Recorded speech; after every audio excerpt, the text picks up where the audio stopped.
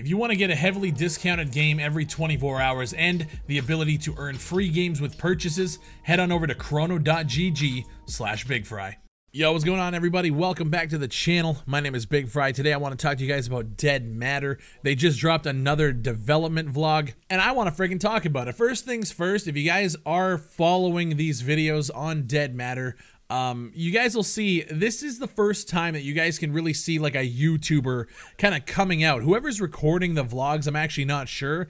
This time around, he seems a little bit more enthusiastic and a little bit more comfortable talking into the microphone. And it's really interesting just like watching the transition from like Undertaker circa 1994 with the hello, ladies and gentlemen, welcome back. And then now he just seems a little bit more enthusiastic, which is nice. It's like watching a little YouTuber come out of his shell. Anyways, I just wanted to make fun of him a little bit.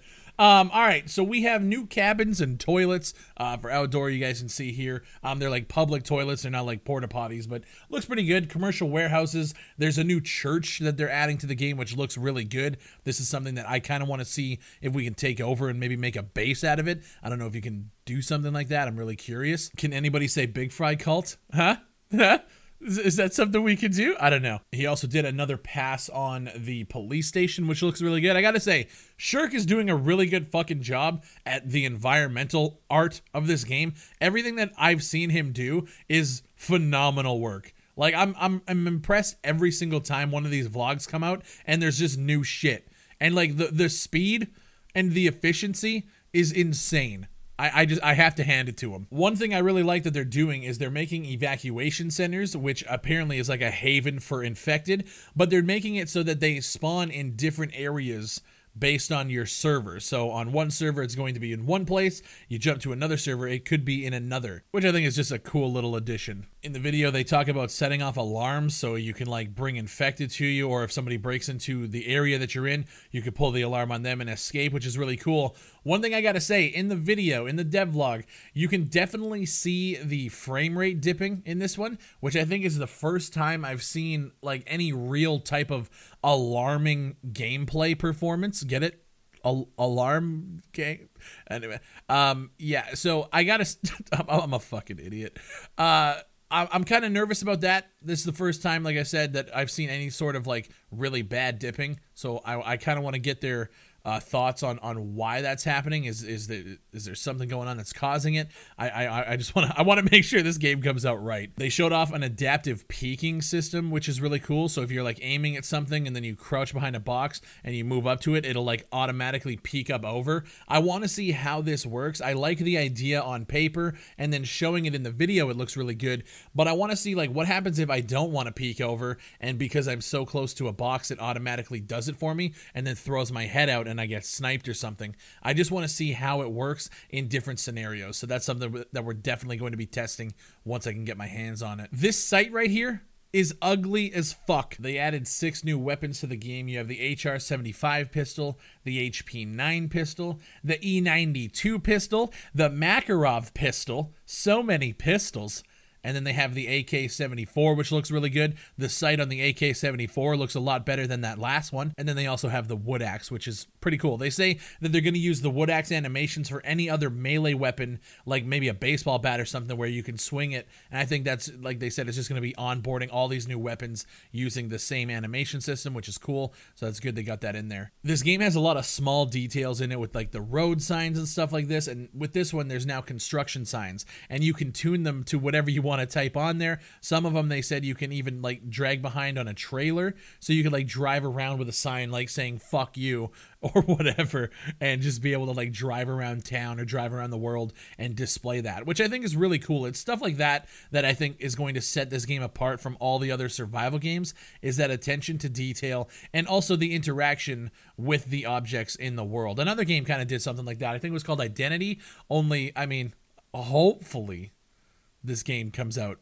and you you you you you get it. They showed off another pass on their inventory system, and they showed what it looks like to like place objects. It looks a little awkward with like the rotation. I gotta see how that feels in game. Um, just the video, just the rotation on the mouse, it just looked a little strange. So I'm definitely gonna check that out. They said their doors before in game were terrible, so they went back and fixed them, and they actually have like physical interaction with them. Um, so you can like run and like just run at an ambulance door like it shows here and just close it, which I think is pretty cool. And you're also able to knock on doors, which is gonna be awesome. I'm just gonna knock on people's bases and run away and shit and just play like Nicky Nicky Nine Door. That's that's gonna be fun as fuck. Then they go on to say that they also are offering a couple different bundles for the game. Uh, you can apparently get your name on a jersey. So I went to their Indiegogo page, and this is something that I really want to talk about now. Um, there's a jersey bundle on there for $70 US. It gets you a copy of the game, gets you alpha access to the game. You can get your name in the credits, and then you can put your name on a jersey in game, which is pretty cool. Cool customization. Um, and then they have a Road Warrior bundle where you can actually get a road in the game named after. You can just name a road in the game. You can put it after your character name or whatever. Um, so the Road Warrior bundle is $150 US. It includes two alpha keys, name in the credits, a copy of the game. Uh, you can get a picture of your pet in the game and then you can name a road in the game as well.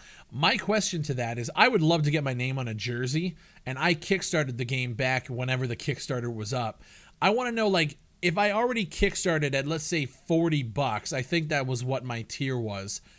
Can I get the jersey perk by paying the difference or do I have to buy another bundle and do it like that and spend another whole 70 and then I'd be technically sitting with two alpha keys. I'm just curious to see how they're going to do that for the people who have already backed. Can you upgrade your pledge?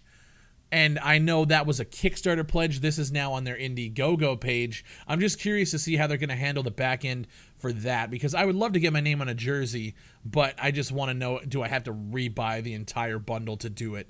That's a question that I think should be asked and should be discussed. Um, if you guys want to catch one of the developers on the Black Site podcast, that's um, a streamer named Klean. If you guys don't know who he is, he's a big EFT guy.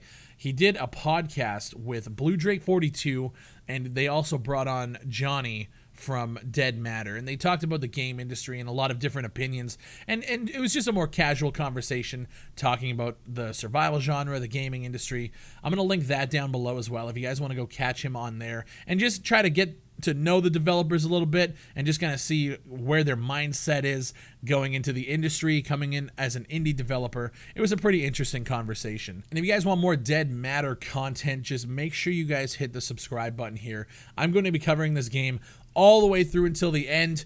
I can't fucking wait to play it. We're going to have such a blast. If you guys want to catch gameplay once it comes out, I'm going to be streaming this game a lot on Twitch. So my links to all that shit is going to be down below. Make sure you guys hit the subscribe button. And if you guys want to share this content, make sure you guys hit the like button as well, dude. You guys have no idea how much it helps sharing the content. I appreciate all of you guys' support. Thank you guys for leaving the comments and, and liking the videos and all that stuff. I, I love it. My name is Big Fry. Thank you guys for everything. 2018's winding down, and then we're going to ramp up for a solid 2019. I can't fucking wait. I appreciate you, and I'll see you on the next one.